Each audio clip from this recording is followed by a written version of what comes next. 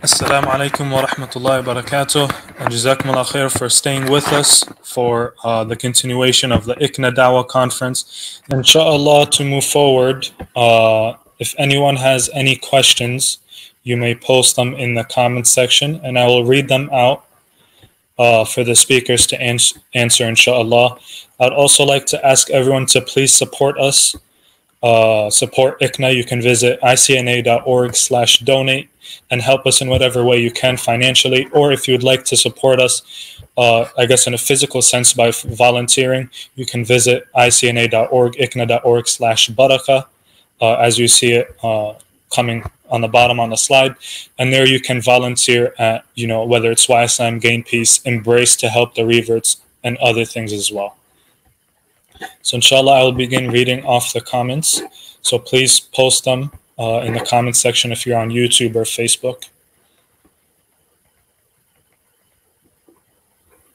Okay, I believe this first question uh, would be for Dr. Jonathan. How do we tell the difference between a trial and a punishment?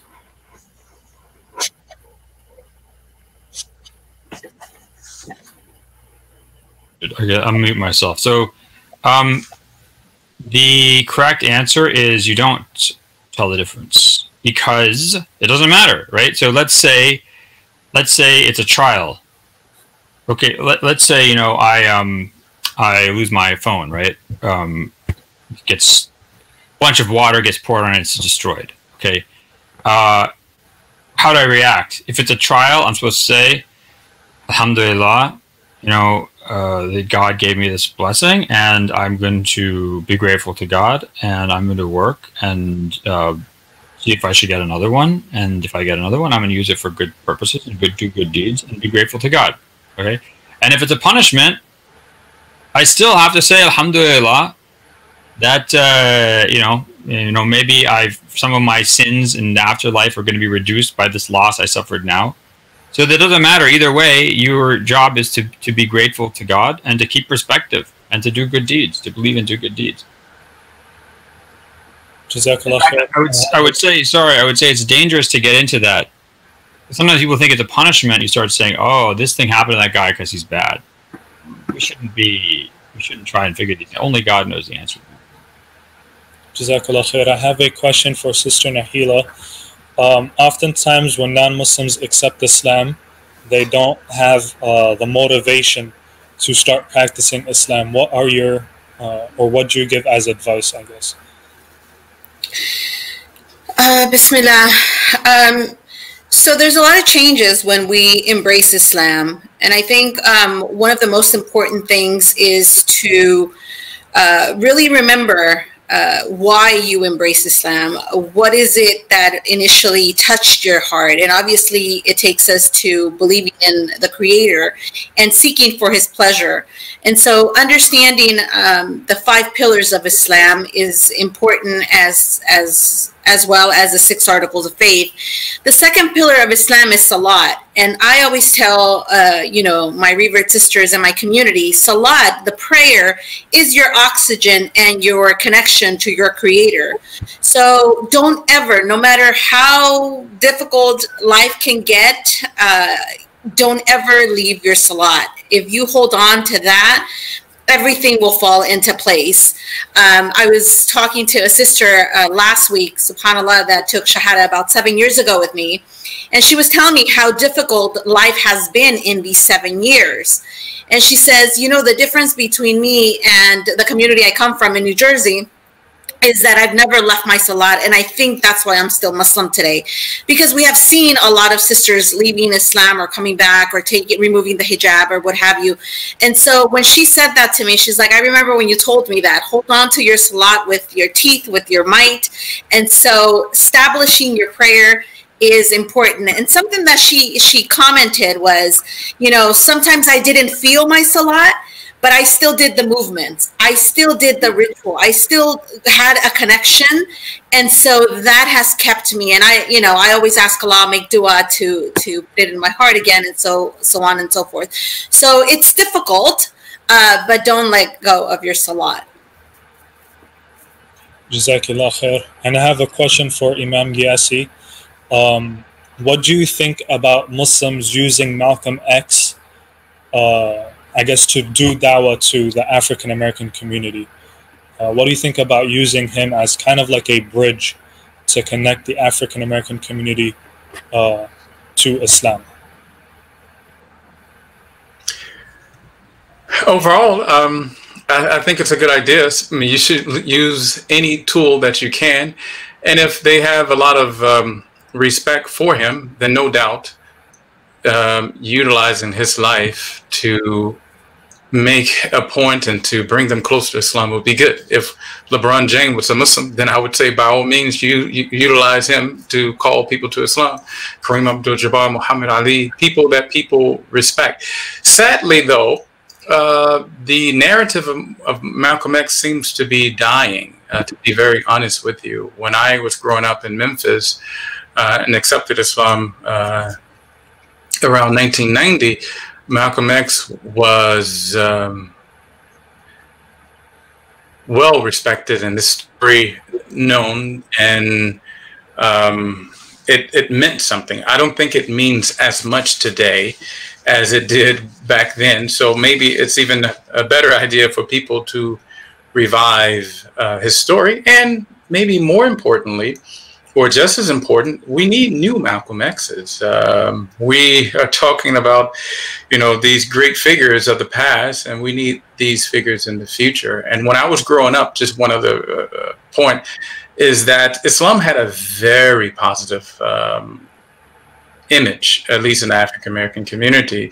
Uh, I, I, when I was growing up, Kareem Abdul-Jabbar was still playing, and he was the uh, the goat. it wasn't debatable. He was the best player, and still, I think it's debatable uh, because I, I, watched him play in the stats. But anyway, uh, Muhammad Ali also at that time was known to be one of the greatest. Um, athletes and boxers, and Malcolm X was known to be one of the greatest speakers. But um, so we need to remind people of that wonderful history, but at, at the same time, we need new leaders. And my point was that Muslims have always been uh, front and center when it comes to injustice. And you see that again, even athletes, uh, as well as those who were involved in uh, H. Rap Brown, uh, Jamil Al-Amin, and others who were involved in civil rights movement, they if they weren't already Muslim, they became Muslim. They were attracted to Islam. And so uh, when we really show that we sincerely care about the people, we will have um, um, and we will produce more um, of these legendary figures in Allah knows best. Okay, inshallah, I think this is a good question for all three speakers. Uh, so I'd ask all three to kind of keep it a bit brief. We only have uh, a bit over five minutes left. But how, it's a two part question. How would you give sympathy to someone whose relative died as a non Muslim uh, after, you know, they've accepted Islam? Uh, and I would add on to it, how would we also aid a non-Muslim, or I'm sorry, a Muslim, a new Muslim who accepts Islam and his non-Muslim family is turning against him? So um, if Dr. Jonathan wants to go first, followed by Sister Nahela and Imam Gyasi. Um, yeah, I mean, uh, I would just say, you know, that look, God, God does not wrong any of His servants. It's a very important principle in the Quran. And God doesn't wrong any of His servants. So you know, whatever you just have to trust that um, that uh, God will have mercy and be just, and that uh, people's ultimate fate is is, is is is taken care of. You know, I mean, that's all you can do. Um, in terms of what would they, what you do if someone writes you, someone if their families is uh, not responding? I mean, I think the important thing is just to always be good to your family, even if they're being bad to you. Uh, always, you know, if you turn against them, if you react badly, they're just going to use that as more evidence that, that you've taken a bad turn. You know, but if you are still do, you know, bir al walidain and itai al qurba, um, they'll. I think there's a strong chance they might eventually uh, come around to, to, to viewing you positively and viewing Islam positively. Sister Nahela. Um, I'm going to echo uh, Dr. Brown, and um, I would say, you know, rahma, mercy, he mentioned, and I would even add compassion. Our beloved Prophet, peace be upon him, he was very compassionate. And um, respect is key in every aspect. Um, my grandmother passed away, it's going on two years in a couple of days. And I remember flying to Mexico and uh, it was very difficult. It was very difficult being surrounded by crosses and saints, and you know, here we are, my son and I, trying to pray, play Quran to her, even though she wasn't mentally there anymore. But I was very respectful to my family, and and I think that's really key to anything. Um, after all, they're still your family. Uh, and just remember that uh, Prophet Muhammad, peace be upon him, he was very compassionate very merciful. And again, respect is key in every relationship, no matter Muslim, non Muslim, um, your relatives, your friends. Uh, you know, treat others the way you want to be treated. And I, I guess I would kind of tabletop that. It's very important for us to, you know, at least simply be there for the individual. Like Sister Nahela mentioned in her talk, a lot of reverts don't even have somebody to go to. So just being there for a person, uh, you know, it would, I'm sure, would mean a lot for the person to have somebody, you know, they say a shoulder to lean on. Uh, Imam Gyasi is reconnecting in just one second, and he can give his answer. Uh, I'm sorry about about that. I don't know what happened. Um, uh, first, it reminds me of the verse in the Quran in which Allah uh, subhanahu wa ta'ala says, Itfa billati hiya ahsan, that you return uh, this evil with good. And if you do so, you will find that your enemy will be your closest uh, of friends.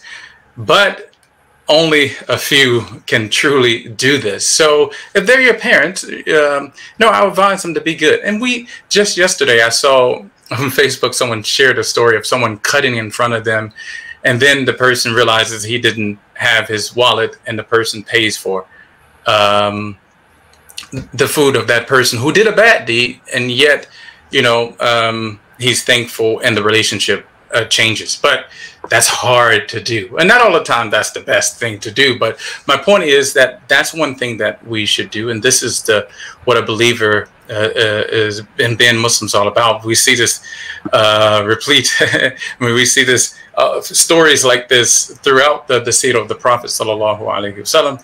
And as for comforting the person who's lost a loved one, um, I think it's different from person to person. And and even muslims you have to some people want their space some people need um, encouraging words some people just need you to visit some people just i mean it just really depends. And i think the question is should you know uh, are you going to make dua? Are you going to pray for them? Some people are not looking for that. Uh, they're just looking for uh, especially in today's world where things are so generic they're just looking uh, for um, uh, some comfort and a, a, shoulder. So I would support that person. And like Dr. J- uh, Brown said, we don't know. We don't say who's going to hell and who's going to heaven. so that's up to Allah. But uh, we could say, you know, this person lived a, a, beautiful life. We can recognize that, and, and we're thankful. So there's a lot of things that you can do, but it's not just complex and difficult for that situation. It's for every situation. Wallahi, I know people I myself, and someone who served as an imam, as a chaplain, sometimes I feel awkward or uncomfortable around someone because, you know, they don't want you to. Uh, maybe I don't know how to respond because everyone is different, you know. Uh, so I think that's the number one thing is to know really what that person is looking for, and then to try to provide that without um, speaking or doing something that's inappropriate. And uh, Allah knows best. Jazakallah khair. Inshallah, the last question I'm going to give to uh, Sister Nahela. Uh, there's somebody in the comments um, that a few times they put uh, that they've been Muslim for several years and don't know many Muslims. Is there anything you can tell them, maybe on Embrace website or something that they can reach out to? So, alhamdulillah, this pandemic has brought a lot of goodness, um, a lot of reflection, and Embrace has gone online 100% because we're not meeting. So, we have something for you every single day, um, and we have a whole online community. Uh, so, reach out to us. We're on Facebook, Instagram, and our website is embracereverts.org. So, www.embracereverts.org. We're here ready to embrace every single one of you. So reach out to us, inshallah. Jazakallah khair. And inshallah, with that, we will conclude. Uh, once again, you can support us financially by donating at icna.org slash donate or help uh, volunteer at Embrace Islam Peace and other chapters uh, by visiting icna.org slash barakah. Jazakumullah khair.